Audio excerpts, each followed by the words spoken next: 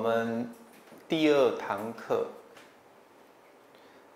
补充我们第一堂课的表格。在我们第一堂课呢的表格当中，第七项跟第八项还没说明完。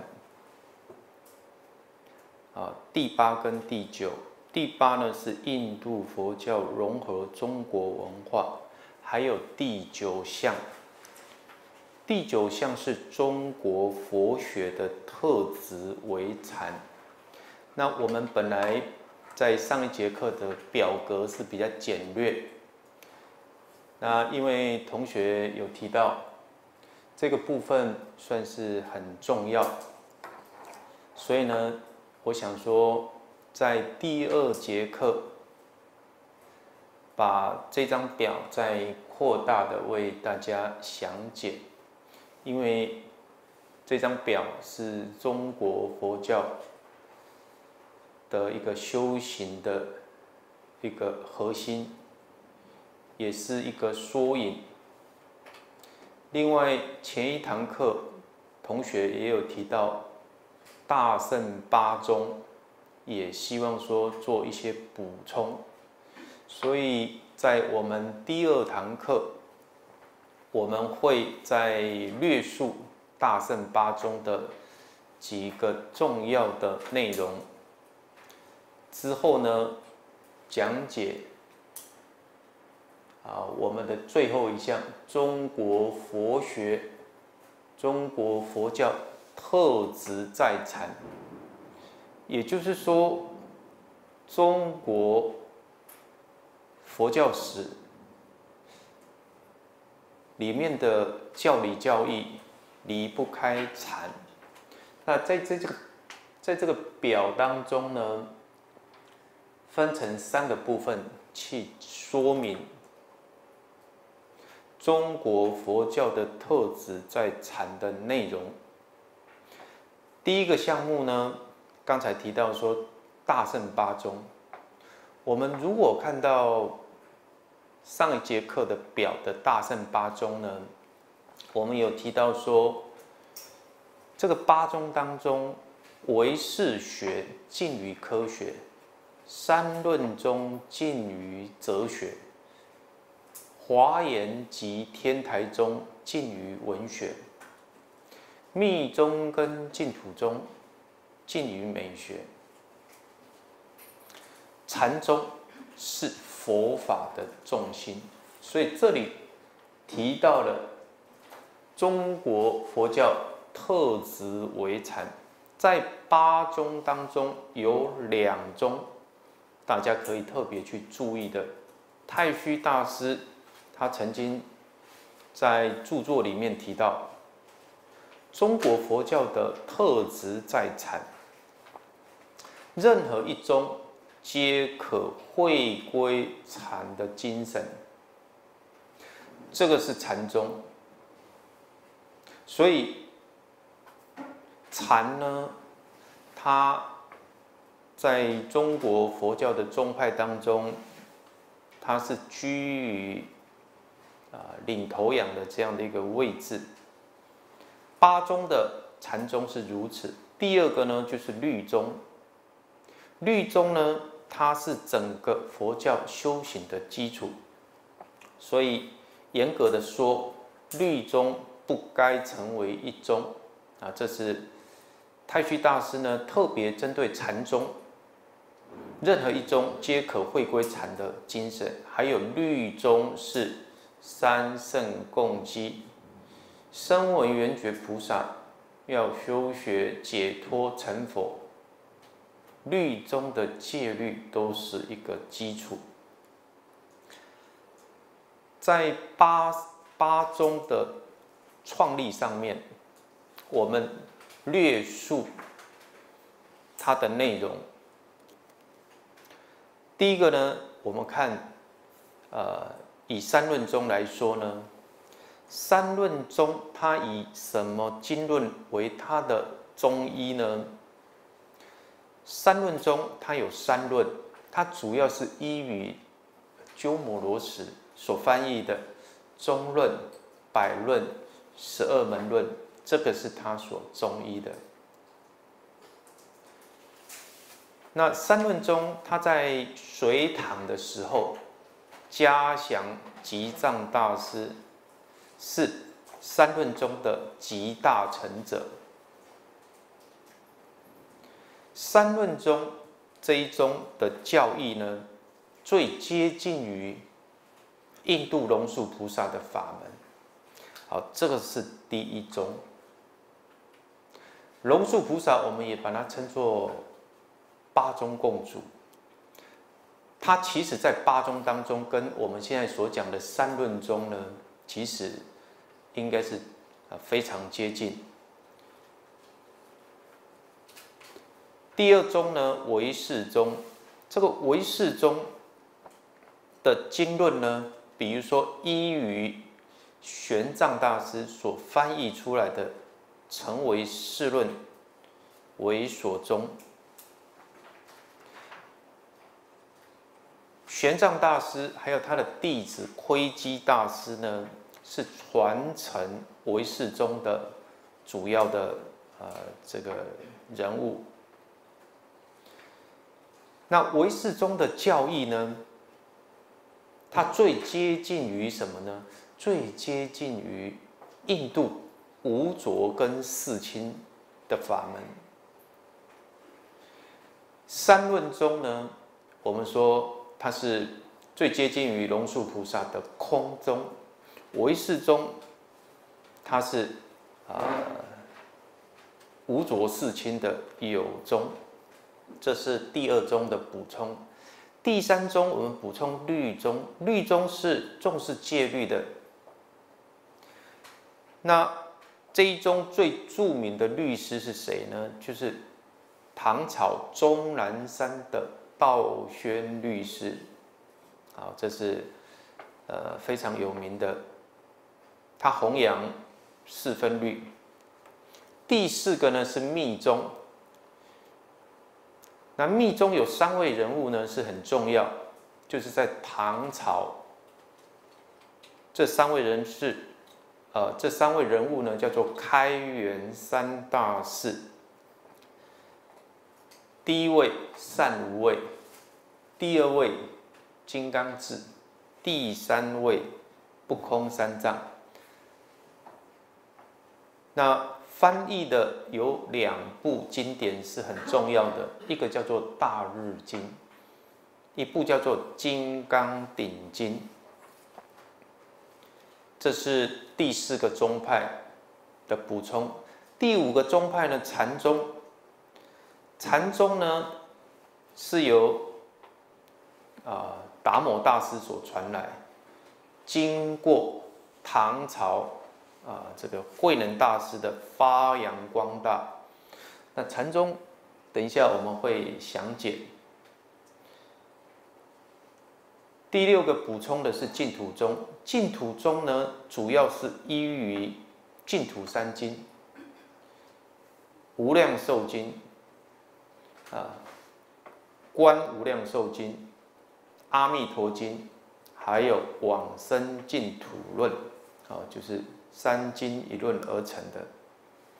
主要的人物呢是唐朝光明的善导大师，他提倡称名念佛，求生净土，也可以说是净土中最主要的大师。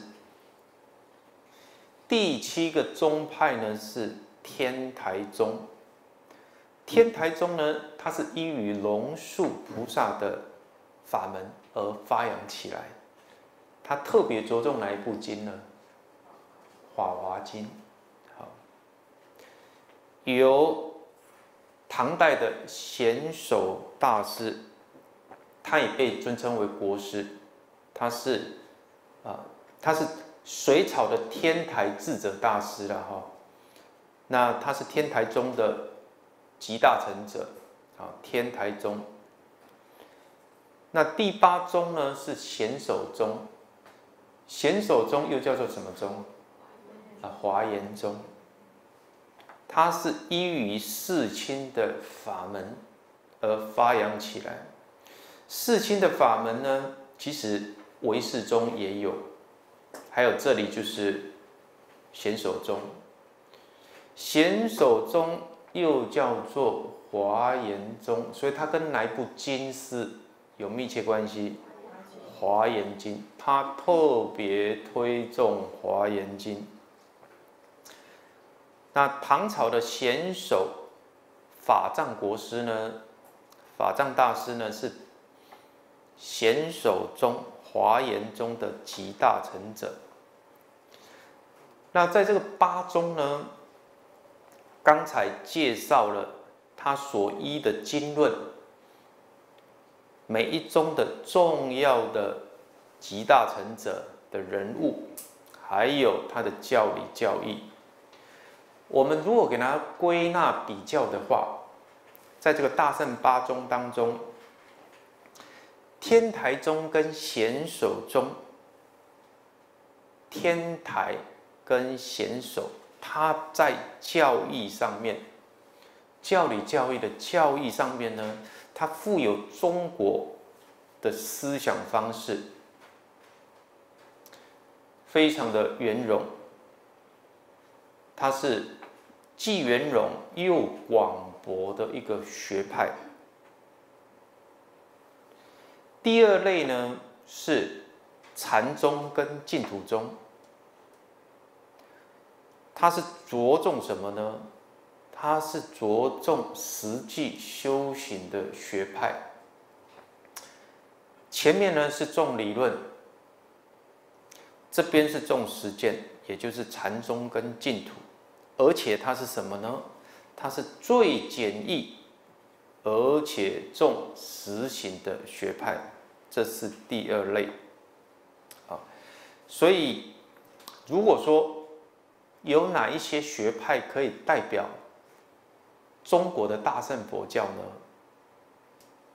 天台宗、显首宗，还有禅宗，还有。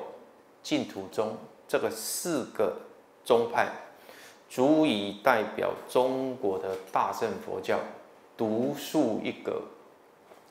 这个是提到了大乘八宗，在这边稍作补充。另外呢，我们在第一节课的第八项有提到了印度佛教融合中国文化。因为印度佛教，它传到中国之后呢，免不了跟强势的中国文化相结合。刚传入的时候，初期中国文化是比较强势的，影响力也比较大的。佛教传入之后，当然。会有相摄相抗，所以呢，就产生了第一个叫做格义佛教。格义佛教呢，它的起源主要呢就是早期佛教传入中国，那我们中国的这个法师在说明佛法的时候呢，用。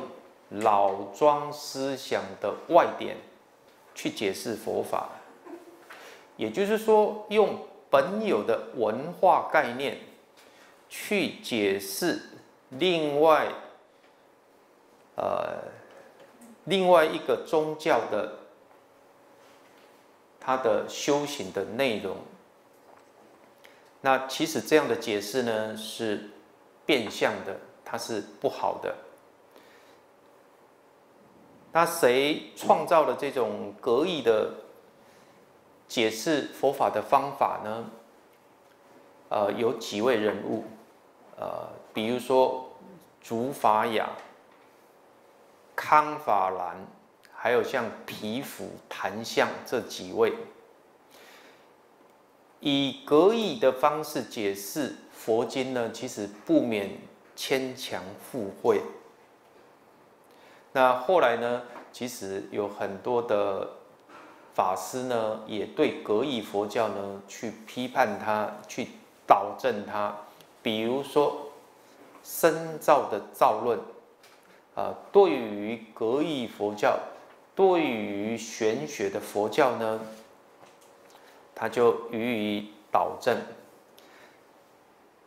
格义佛教是一个，呃，印度佛教跟中国文化融合的产物。第二个呢是宋明的理学，产生儒释道三教的合一，三合一的佛教，也就是佛教当中含有儒家思想、道家思想。那它其实已经是变形的佛教。那这样的佛教，隔异的佛教，掺杂着外道的佛教的内容呢？其实这一些都应该予以的去导正。那这是两个文化，一个宗教跟另外一个文化产生必然啊产生的一个。现象，那我们就是应该要特别的去注意。接下来我们看，在上一节课最后的一个表，那这个表，因为上一节课的那个表的内容非常的简要，一开始我有提到说这一个表。含摄了中国佛教史的内容，它的修行的方式，跟它的思想核心。那同学觉得里边的内容相当的简要，所以在这一节课呢，我详细的把它列出来。那在第九项这里呢，扩大的表呢，它说明的内容，中国佛教史里面讲到我们的修行内容，重要的内容是什么呢？在太虚大师他提到，中国佛教的特质呢是在禅。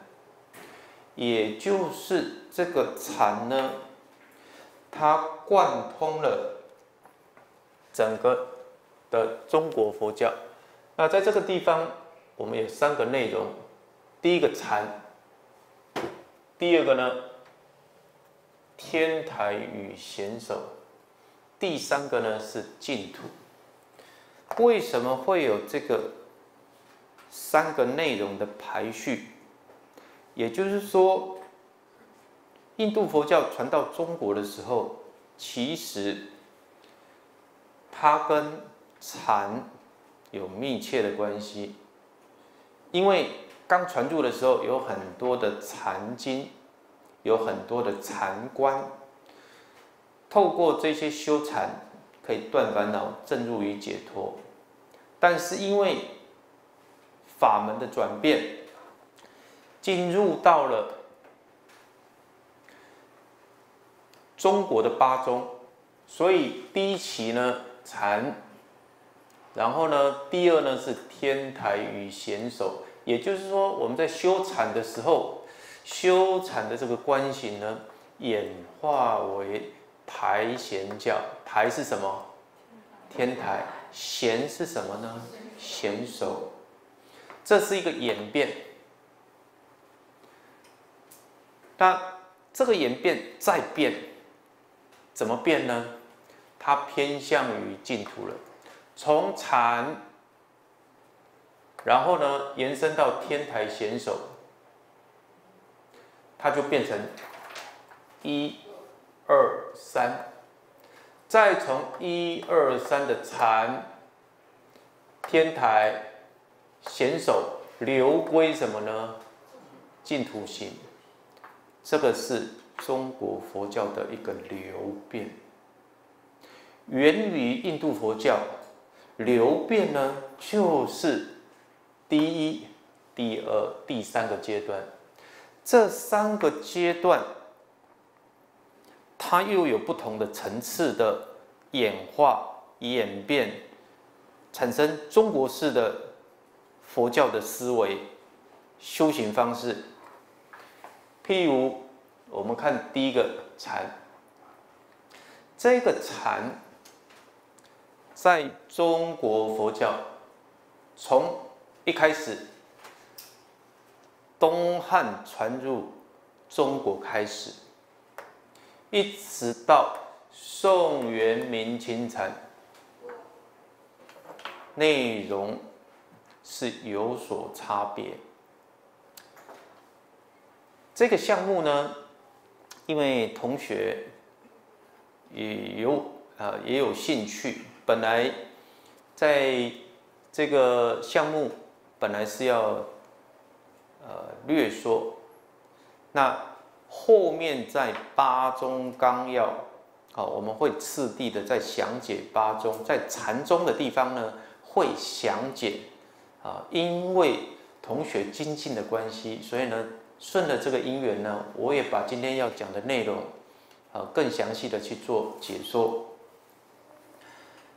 那我们看第一个，第一个呢，这个禅，它是中国佛学的特质，就是主要的内容。这一个表的内容是太虚大师全书里面啊所揭露出来的。如果大家想要更深入呢，也可以，呃，从原点去参照。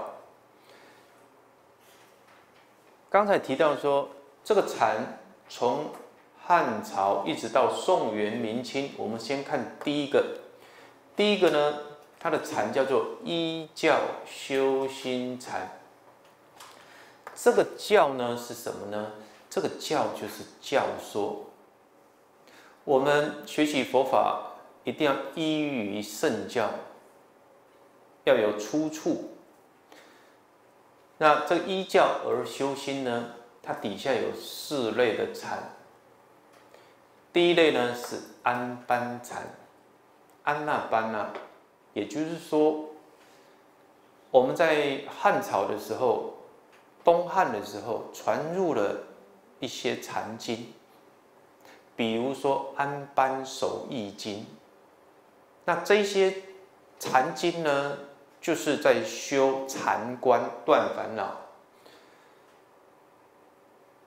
那这是啊比较早期的依教说佛陀的教说修这个禅，这安般禅。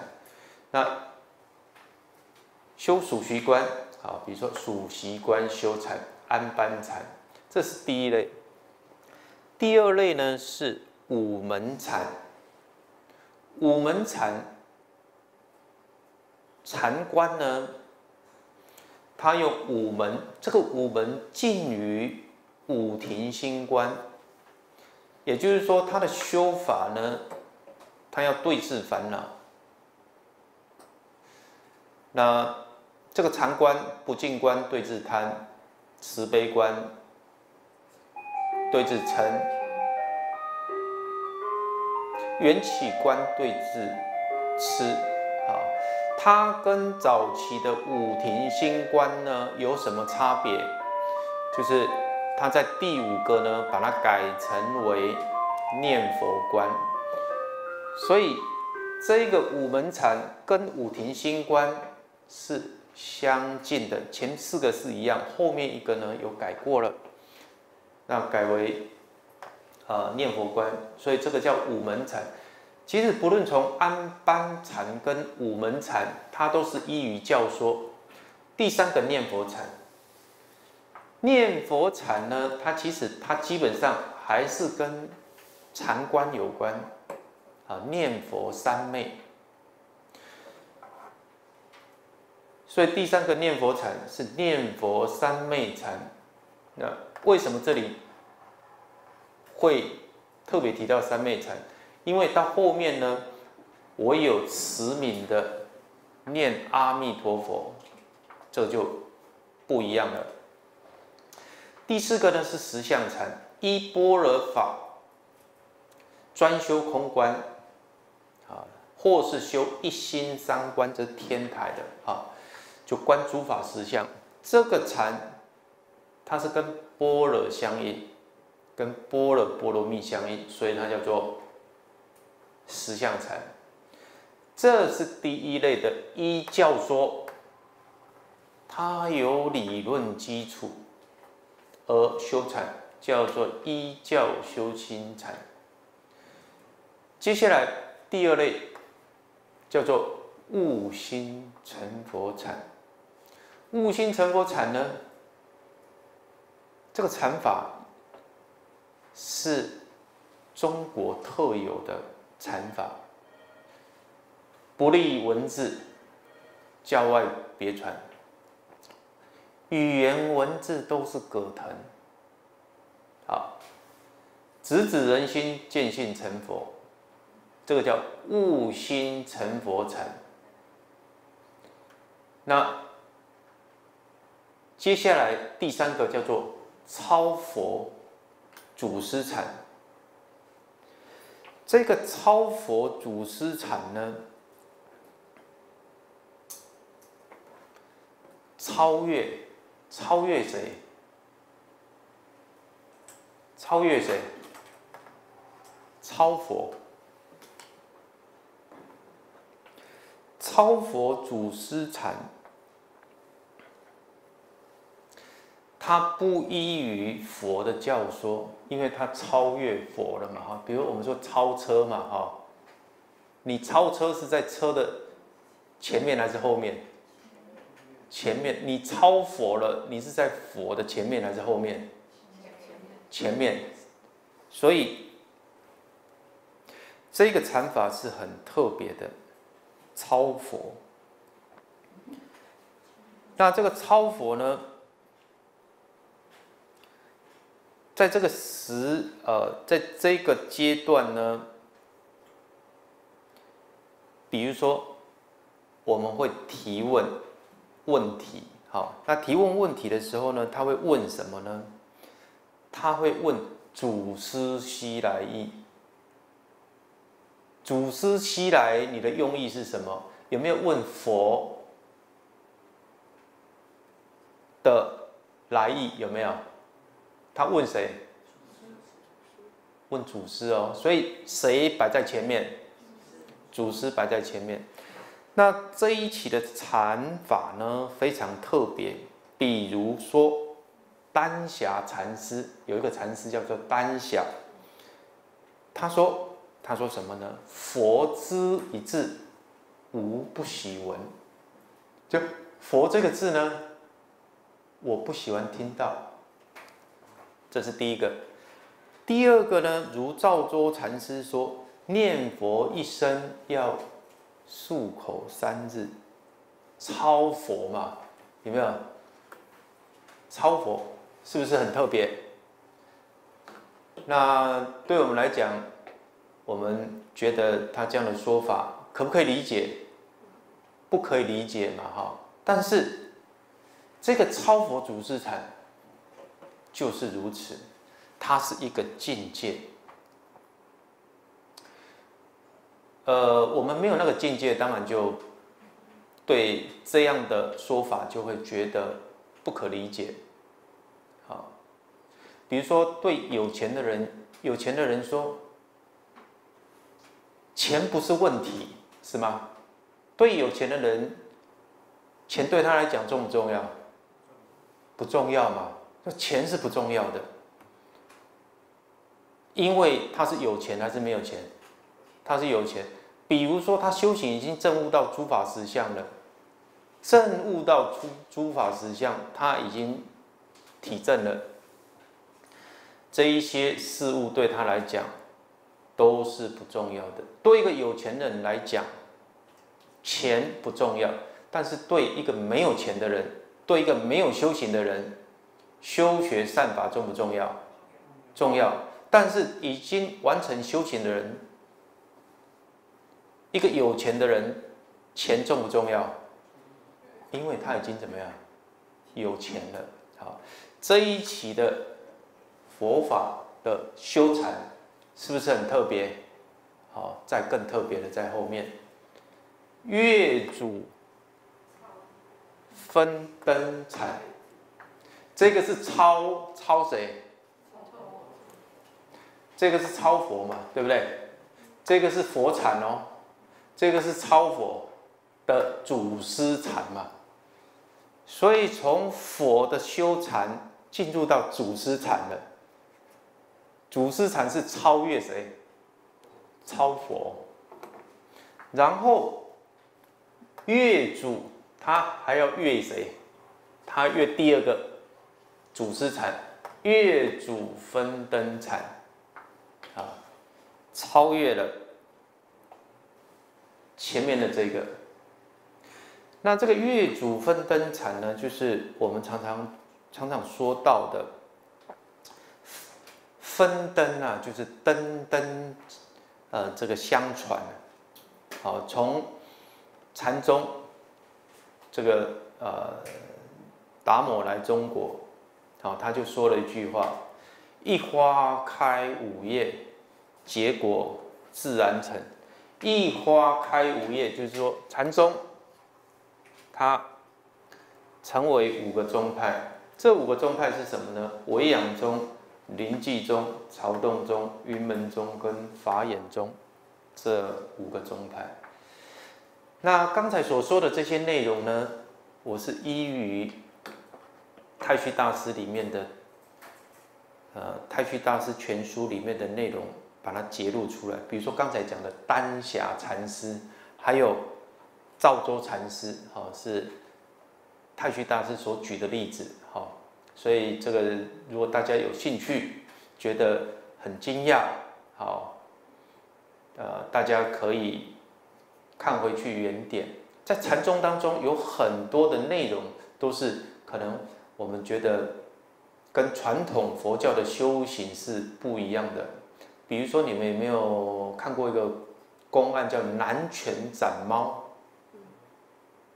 啊，南拳斩猫嘛，好像把猫怎么样？呃，这个杀了，哈，这个也是禅宗的公案嘛。还有就是，呃，有一次天气很冷，有一个禅师就把佛像给劈了、烧了。啊，这个都是禅宗的一些公案了哈。那我们到呃八宗的禅宗的时候，我们在略述哈，因为禅宗在呃中国佛教里面有不同的阶段呢，它的修法也是非常的多元哈。这个一教修心禅，你看这个这个禅字在早期，像这个五庭星官。这个跟现在的像《瑜伽师地论》有没有哈？还有早期的修禅观是很接近的，但是到越后面呢，好，它跟它就演变出中国特有的禅法。好，这个月主分灯禅就月祖师禅，超佛就是超佛禅，啊，演变不同的禅法。那这有一些宗派呢存在，有一些也不存在。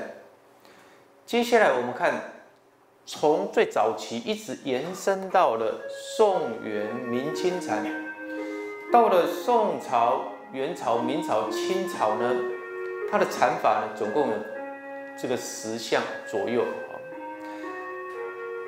那我们在八宗的禅宗的时候，我们会把这个表呢再扩大详释它的内容。我们先看它的大象。禅宗里面有没有讲公案？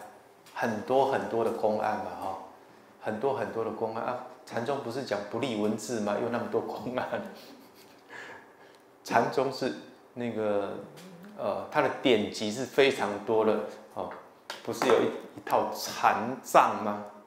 好，呃，好像是应该是一百册了哈，不立文字，文字还这么多，哈。好，所以呢，宋宋元明清禅，它有公案的撵诵，还有画头的移参，那就是参画头啊哈。那还有什么呢？禅净的合修啊，也就是说禅跟净土呢。呃有合修的状态啊，有禅有净土，无禅有净土，好等等，还有宗教的和会，还有空默的关照，我们说默照禅，好，还有禅中有很多什么呢？语录啊，语录的啊，它的编辑研究，坐跑之监运。坐跑是监运，就是说它有坐香跟什么？跑香，哈，生熟之常躲，好，这个生熟当中呢，呃，它可能会斗那个机锋啊等等，仙道之旁附，如理之推演，好，这个宋元明清禅呢，它总共有这十大项，好，我们到八宗纲要的禅宗的时候，我们再详释。所以，我们从最早期的，它跟早期禅观一样，都是禅五停心观、念佛三昧，乃至一心三观，这个跟般若相应。好，然后呢，天台到不立文字，到开为五宗，然后呢，到宋元明清这么多的内容都是禅的内容。好，那。有的时候我们是抓到一个地方呢，就以为是它的全部。其实它的时间序从很早期一直到晚期呢，都有残的痕迹。那一开始的禅观呢，我们看第二项，天台与贤手，禅观行演为台贤教。这一个部分是要说明什么呢？也就是说，佛教传入到中国，一直从东汉到了唐朝的极盛时期，它慢慢开始衰微。衰微的过程当中，它本来是重视修行的禅观，最后呢，成为天台跟贤手。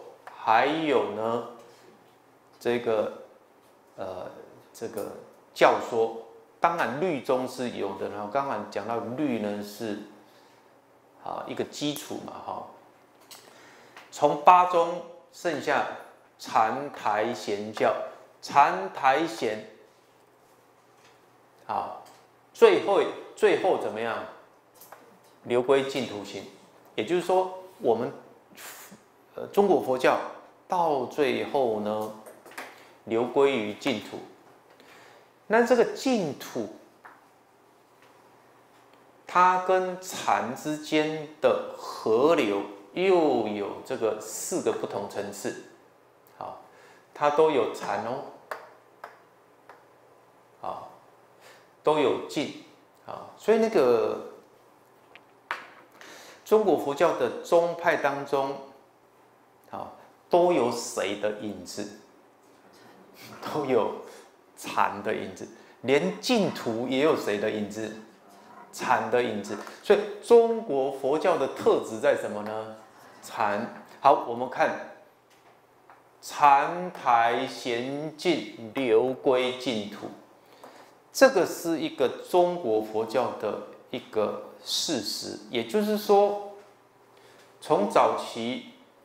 佛教的性空一位，一直延续到二派的分流，八宗的兴盛，然后呢，流归于禅台显，再流归于什么呢？净土。这净土有四类，这四类呢，第一个一教律，教呢？就是教理教义，就他有没有依于理论基础？有的，他不是盲修瞎练的，他依于教理教义，佛的教说。还有什么戒律哦？依教说依戒律修禅之境。那这个境呢？他修这个净土，其实他就是在什么？修禅，它的主轴还是哪里？还是禅？这是第一个依教律修禅之境。第二个部分呢是遵教律别禅之境，把禅怎么样别掉了？什么意思？这是依教律嘛？这个是尊重教理教义，尊重什么戒律？但是已经把禅别在一边的净土。所以呢，这是别于禅而修净土心。如果第一个就是说我跟你去旅游，第二个呢，我我跟不跟你去了，我别你，我自己去了，这是第二个别于禅而修净土心。那第三个呢，是透禅融教律之境。这个透禅呢，就是他修这个禅呢，然后他把这个禅融摄之后而产生的净土禅，也就是说，它的融会方式呢，透禅，了解这个禅观。然后呢，他跟禅宗，他跟呃天台跟贤首的教说结合在一起，所以他有没有教说？他是有教说的哦，他有这个教说，只是他的教说呢偏向不同，但是他是有教说的。这样的透禅融融啊。这个融入这个教说，融入在这个戒律，啊，这个呢，都是依经依律而修学的，所以这三个呢，这样的一个透禅融教律之境，都是还是依于什么呢？教说跟什么戒律，这个是中国主流的净土禅，也就是说。如果要讲净土中，它的主流，它是有理论基础的依教，它尊重于戒律的，这是中国真正的净土。净土禅，也就是说，这个净土禅主要核心啊是这个净土，但是呢有基本的教说的支持。最后一个。第四个叫做夺禅超教律哦，这个语词呢，刚才提到说超，他又超车了，他超什么？教说，所以教说给他放后面了，超车嘛。刚才讲到超车就放在后面，不要了，因为我已经超超过你了嘛。超什么呢？超教，教说放下了，戒律也怎么样，也放下了啊。夺禅，那个禅呢，也不必了。呃，我们说夺命嘛哈，夺命还有没有命？啊，夺禅有没有禅？所以他也没有禅，然后他又怎么样？没有教，也没有什么，有没有？那只只剩下什么？啊，只剩下阿弥陀佛。这个呢，就是夺禅超教律之境，唯念阿弥陀名号。那这一些呢，它跟这一些都是在说明净土心，跟天台贤首有关，跟天台贤首禅宗有关。禅台显流归于净土，也就是说，中国佛教最终流流入哪一个宗派呢？净土。那如果说从一开始，东汉，我们如果把这两节看起来，从东汉传入中国，然后开始二流分化嘛，哈，然后八宗。八宗再变成什么呢？再变成啊这个二流。那二流其实呢，那个二流呢，它跟天台显手是有关系的。好，然后呢，天台显手在流向哪里？净土中。